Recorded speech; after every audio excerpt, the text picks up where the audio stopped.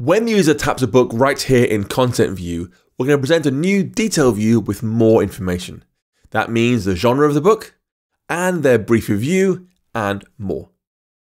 We're also going to reuse our new rating view here and customize it a little bit so you can see exactly how flexible SwiftUI is.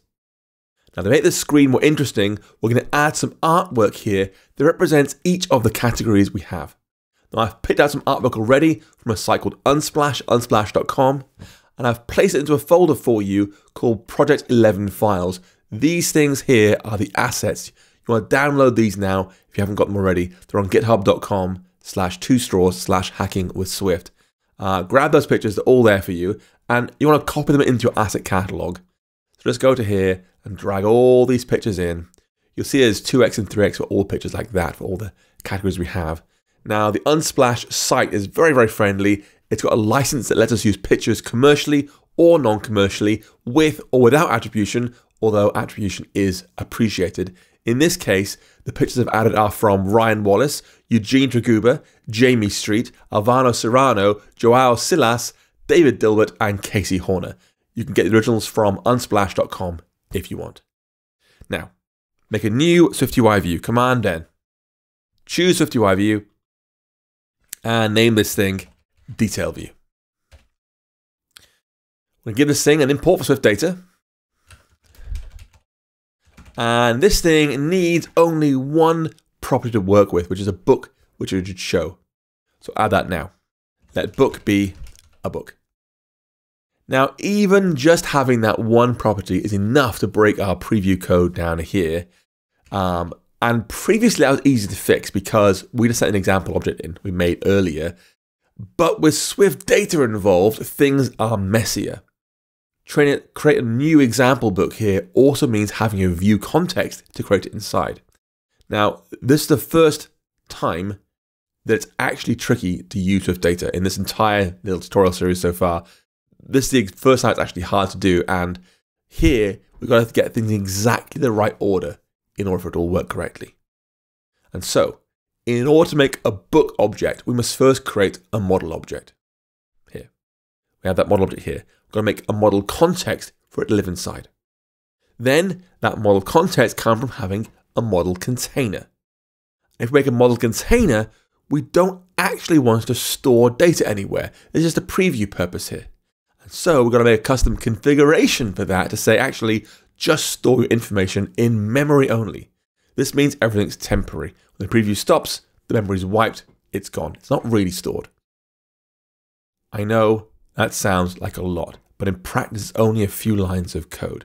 We're going to make our model container by hand, and doing that using a new type called model configuration that lets us request that in-memory temporary storage. Once we have that, we can make our book object as normal, okay? Then send its detail view as normal, and then send the model container in as well.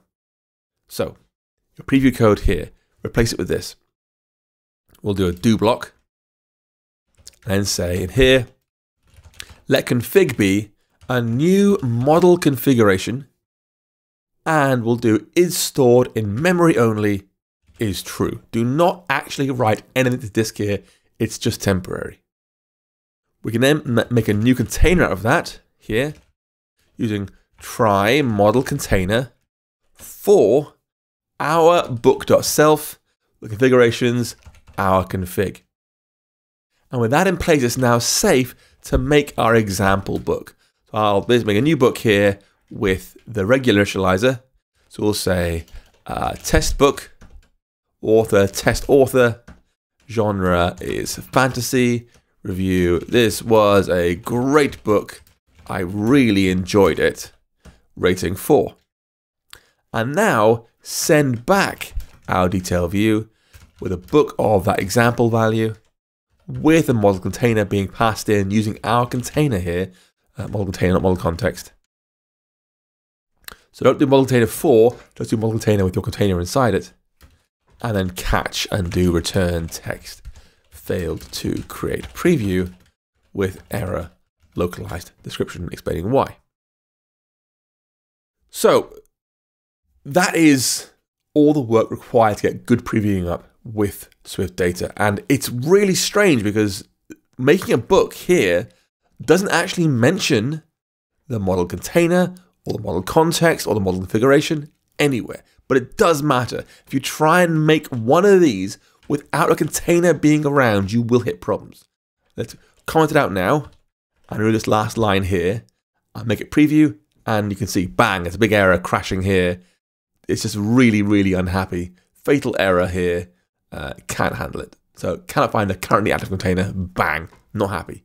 Don't do that. Even though it doesn't reference it, it is behind the scenes. It's silently finding the container and the context behind the scenes. So you must make it before you make any model object. Okay. With that done, we can turn our attention to more interesting problems, namely designing the actual view itself. Now, to start with, we're going to place the category image and genre inside a Z stack. So we can place one on top of the other nicely. I picked out some styling I think looks okay, but of course you're welcome to experiment with styling as much as you want to. Go ahead. All I'd say is please make sure and keep your content inside a scroll view because it ensures our full review fits onto the screen no matter how long it is or what device the user has or whether they've changed their font size or whatever, it will fit no matter what. So this body property here, I'll say is a scroll view. Inside there, I'll do a Z stack with alignment of bottom trailing. So bottom right corner and left to right languages. Then we'll do an image of our book genre, scaled to fit. Make it resizable, of course. Helps. There we go. And then let's press play again on that actually. Uh, book.genre uppercased. Yeah, appearing slowly. Uh, and I'll say uh, with that one, we have our uh, font weight of black. It's down here somewhere, almost invisible against background. Don't worry, we'll fix it a second. Uh, we'll add a bit of padding around it. There we go. We'll add a foreground style of white. Getting there slowly. Add a background with a black opacity 0.75. Yeah. And then a clip shape of, let's do a capsule. And let's bring it in slightly using an offset modifier. We'll do, uh, bring it in x minus 5, y minus 5, like so. Great, okay.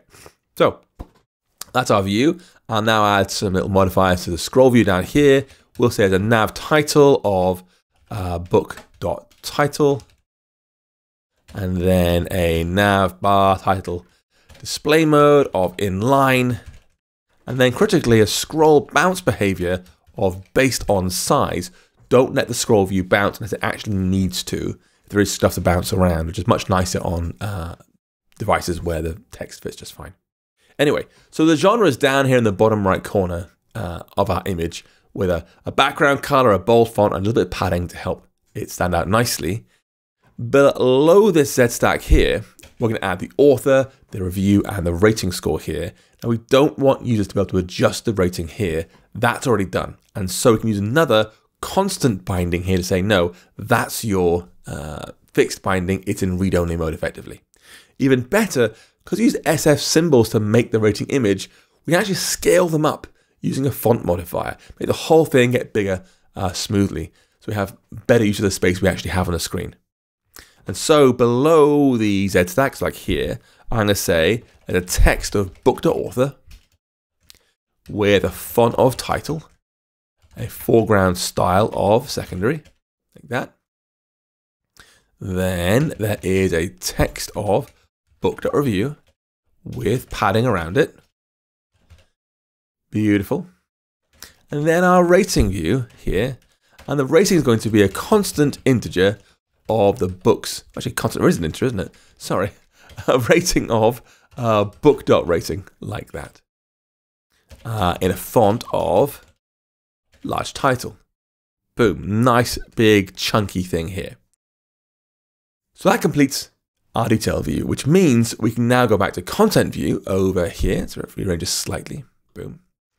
And add here a navigation destination to our list uh, saying when you're tapped, go somewhere. So I'll say there's a nav destination for book.self, and destination is going to be, ugh, give me a trailing closure, please. Book in, detail view, book is book, like that. And now, hopefully, run the app again. We should be able to tap our little White Fang book here. Boom, in it comes. There we go. Nice title, kid's picture, the author name, book name, and then a, a read-only version here. So I ain't doing anything at all. It doesn't change at all when you press these things, uh, which is nice. So now any books you've entered, you can tap in to see this new detail view.